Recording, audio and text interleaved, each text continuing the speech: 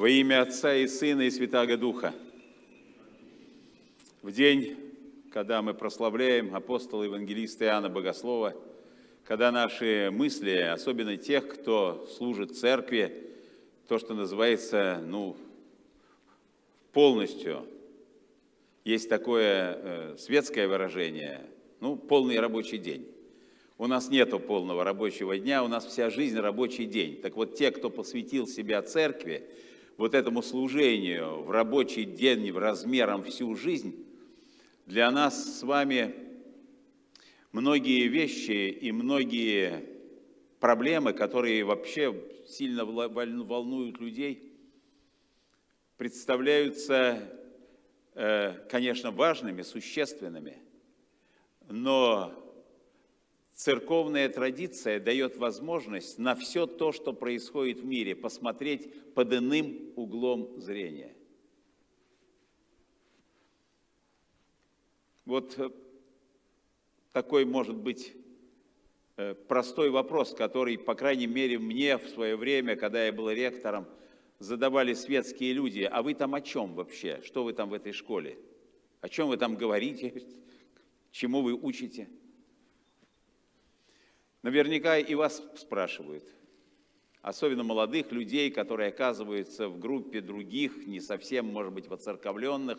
Ты что, из семинарии, а вы там что делаете, вы о чем?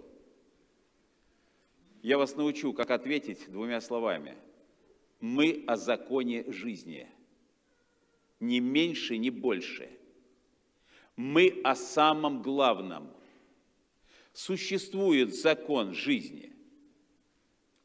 Большинство людей не знают, что это такое. Но мы, верующие люди, знаем, что закон жизни – это то, что повелел совершать людям Господь наш Иисус Христос. Он дал первое нравственное законодательство Нового Завета, следуя которому мы точно знаем, что исполняем мы закон или не исполняем. Более того, мы знаем, что нас ждет, если мы этот закон исполняем, и что с нами произойдет, если мы откажемся его исполнять. А почему так? А потому что это и есть закон жизни, не больше, не меньше. И когда человек отступает от этого закона, по разным причинам, кто-то из-за незнания, кто-то из-за страха, кто-то из-за человеческих страстей, ну и перечислять можно много причин. Но ведь каждый знает на опыте своем, когда приступаем Божий закон, всегда имеем тяжелые, а иногда роковые последствия для нашей жизни. Это особенно хорошо открывается людям, которые вступают в брак – и когда этот брак нарушается, верность нарушается, когда рассыпаются эти самые тесные человеческие отношения, то ведь каждый наказывается. Никакого счастья. Он теряет семью, нередко теряет детей. Начинается иногда такой образ жизни, который еще более, как то, что называется, закручивает петлю вокруг шеи. Вот живя по закону Божьему, по тому самому закону, которому здесь учат и студентов, и молящихся. Живя по этому закону, мы можем жить счастливо. Даже тогда, когда нас посещают скорби, болезни, неудачи, какие-то проблемы по работе – если мы все эти проблемы будем соотносить с той системой ценностей, которой нам Господь дал, которой нас Господь научил, что абсолютное большинство наших проблем покажутся нам совершенно несущественными. А если так, то и недостойными тому, чтобы нам отдавать здоровье, силы, тратить нервы и так далее. Поэтому действительно – в этой школе учат закону жизни, который делает человека счастливым. Запомните эти слова. И когда-нибудь скажите эти слова тем, кто будет вас спрашивать. И попытайтесь объяснить, что это такое, что существует только один закон, который ведет человека к счастью. Это Божий закон. Он дал его как Творец мира. И Бог не хочет зла человеку. И Он дает правила жизни, исполняя которые мы непременно будем счастливы, даже если внешние обстоятельства жизни уж не будут такими радостными и счастливыми. Это все хорошо демонстрируется на истории нашей страны. Через какие только внешние скорби не проходил наш народ. Через междуусобные брани, через страшные войны, через революции и потрясения – но ведь мы сохранились как народ. И об этом можно смело говорить. Вот в этом новом веке благости Божией мы действительно сохранились как народ. И потому только, что народ не отступил от самого главного, от нравственного Божьего закона. И кто-то, может быть, верит в Бога, кто-то, может быть, послабее верит, кто-то, может быть, плечами поступа, пожимает, но понимает каждый, что если жить по нравственному закону, все будет хорошо. Отступаем от закона, погружаемся в стихию греха, который может показаться очень счастливым, привлекательным, но последствия греха всегда разрушительны, потому что грех – и Богом сданная человеческая природа несовместимы. Вот очень важно, чтобы выпускники духовной школы обладали способностью объяснять своим будущим посомам и не только, с людьми, с которыми вы встречаетесь и будете встречаться, что такое вера в Бога. Нужно понять, что это не просто бабушки в белых платочках, что это не просто архитектура, которая уже давно-давно как бы создана, ну и сейчас как-то воспроизводится и даже не всегда удачно. Это не только живопись, не только что-то такое внешнее, а это сама жизнь. Это правило жизни, это самое и самое главное. Но для того, чтобы быть убедительными, вы сами в этом должны быть убеждены. А убеждение – это не только интеллектуальный продукт. Убеждение – это опыт жизни. Все непременно – это опыт жизни. Если ваши богословские знания останутся на этом интеллектуальном уровне, то потом они исчезнут, деформируются, ну, потому что человек стареет, и знания уходят – а если это станет частью вашей природы, ваших убеждений, то это будет сопровождать всех вас до конца жизни. А как важно это особенно для священнослужителей. Есть такое совершенно для меня непонятное слово, как выгорание. Какой-то владыка мне сказал, вы знаете, вот ко мне обратился священник, он переживает процесс выгорания – я говорю, вы его либо в монастырь пошлите на тяжелые послушания, либо благословите в мир идти. Среди нашей братьев выгорать никто не может. Только могут возгорать и возгорать и возгорать. А если выгорает человек, то что-то очень неправильное в нем происходит. Значит, он не понимает, к чему он призван, ради чего он живет, ради чего он учился – он не понимает смысла тех слов и той проповеди, которую он несет миру, страдающему, больному, действительно подвергающимся огромным кризисам. И как хорошо это сейчас видно в начале 21 века. И кризис в экономике, и кризис в политике, и кризис в культуре, вообще эпоха кризиса. Но люди, изучающие в этой школе греческий язык, знают, что прямое, прямой перевод слова «кризис» на русский язык означает «суд». Значит, время суда. Если время кризиса, то время суда. И мы особенно, люди православные, должны это понимать. И не поддаваться ни упадническим настроениям, тем более не ставить под сомнение свою веру, опираясь на веру, мы должны встречать непростые вызовы нынешнего века и преодолевать их в личной, общественной и в государственной жизни. Благо, что теперь государственные мужи у нас тоже в Бога верят, являются членами нашей русской православной церкви.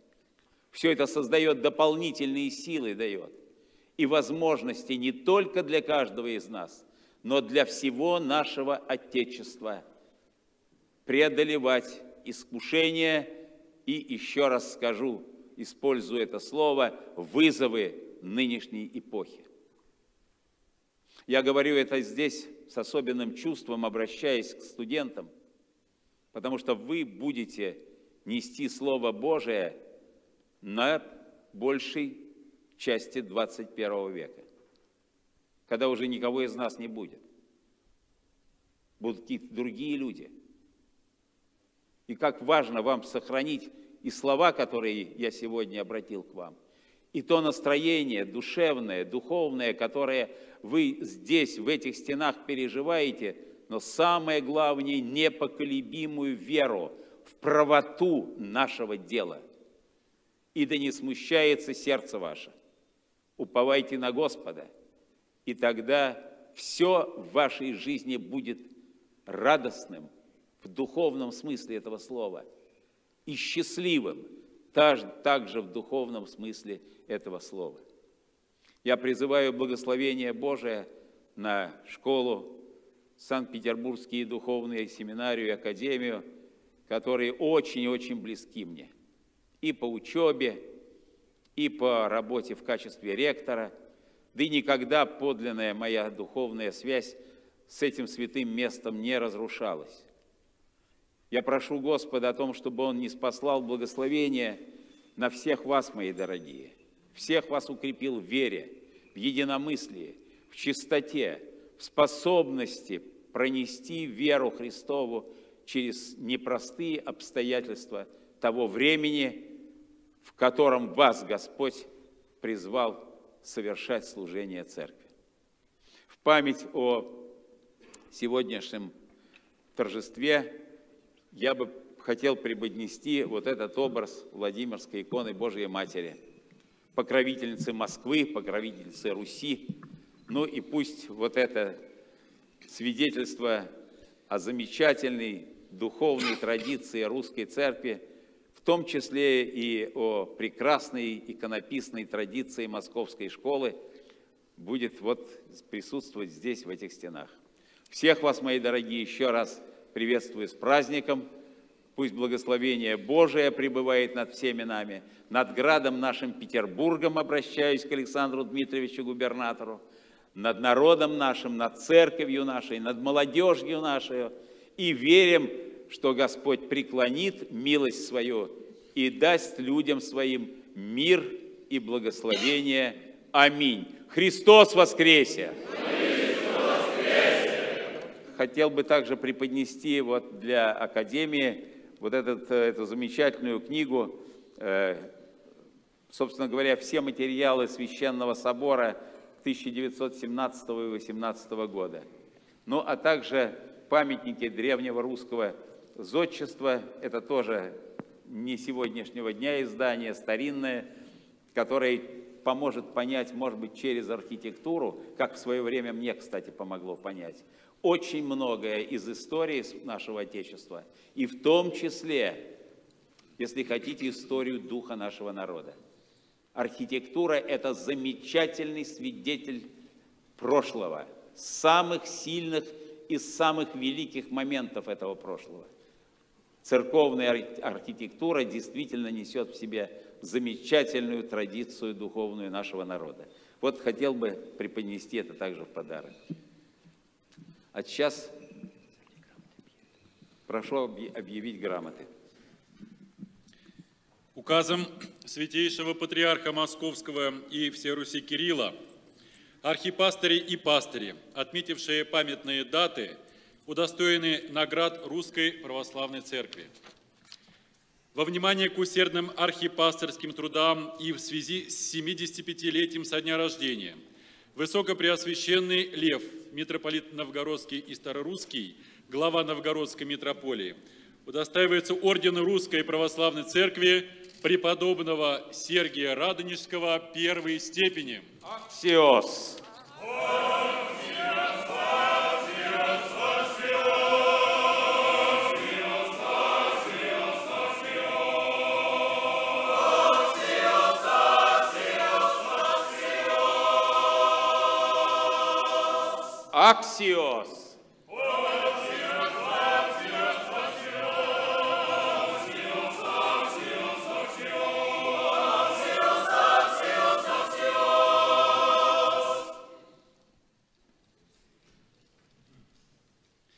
Во внимание к усердным архипасторским трудам и в связи с 70-летием со дня рождения и 30-летия архиерейской хератоний Высокопреосвященный Константин, митрополит Петрозаводский и Карельский, глава Карельской митрополии, председатель Синодальной богослужебной комиссии, удостаивается ордена Русской Православной Церкви святителя Иннокентия, митрополита Московского и Коломенского первой степени.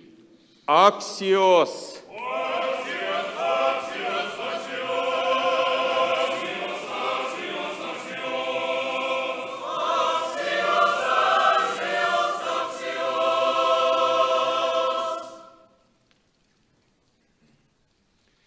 внимание к усердным трудам на благо Святой Церкви и в связи с 40-летием служения в сане пресвитера протерей Геннадий Зверев, настоятель Софийского Вознесенского собора в Царском селе Санкт-Петербурга, удостаивается ордена Русской Православной Церкви благоверного князя Александра Невского второй степени.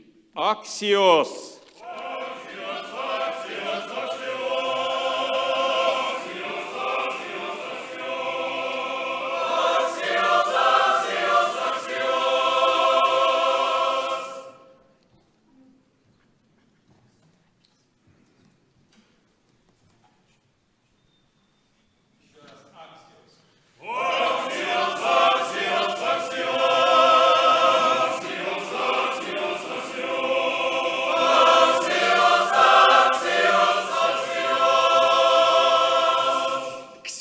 75-летию Возрождения Санкт-Петербургской духовной академии, преподаватели и сотрудники Санкт-Петербургской духовной академии, отмечающие памятные даты в текущем году, удостоены следующих знаков патриаршего внимания. Во внимание к трудам на ниве духовного образования и в связи с 80-летием со дня рождения. Протерей Владимир Владимир, профессор кафедры богословия Санкт-Петербургской духовной академии, удостаивается ордена Русской Православной Церкви святаго-благоверного князя Даниила Московского первой степени. Аксиос. Вот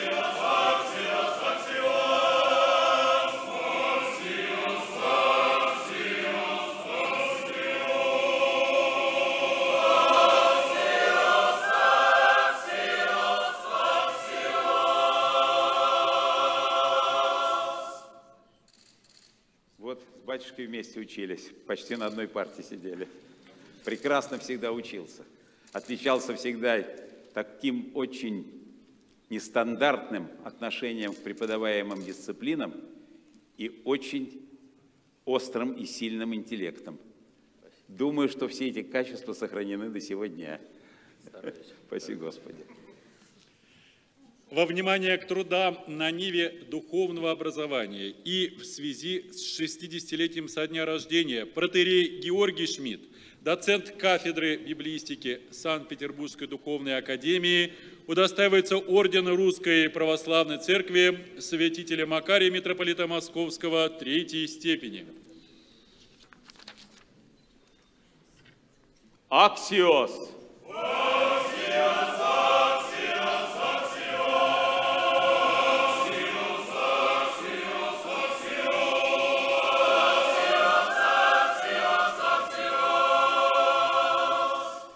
внимание к трудам на ниве духовного образования и в связи с 50-летием со дня рождения протерей Дмитрий Юрьевич, заведующий кафедрой библиистики Санкт-Петербургской духовной академии, удостаивается ордена Русской Православной Церкви святителя Макария, митрополита Московского третьей степени. Аксиос.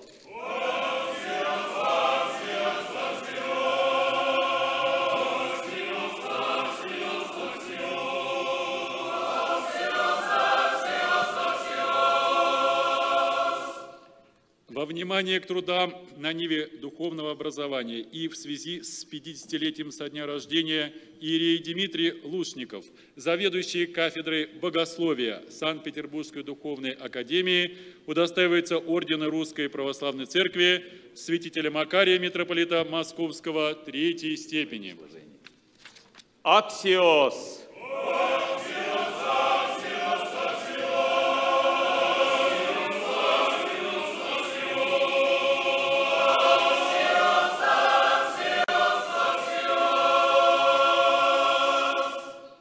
Во внимание к трудам на Ниве духовного образования.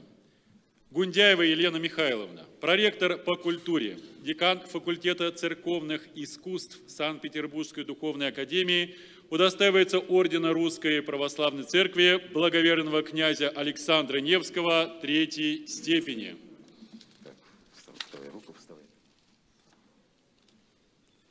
Аксия.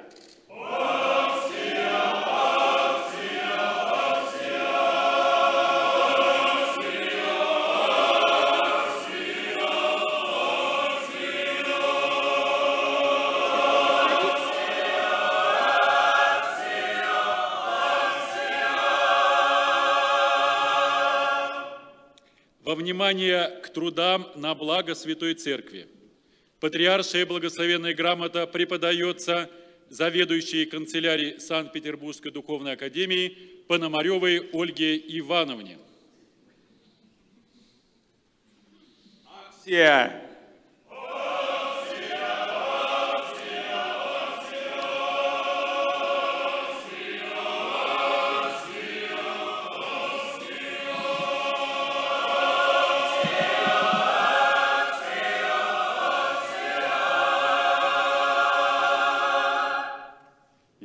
Всех с праздником, дорогие мои.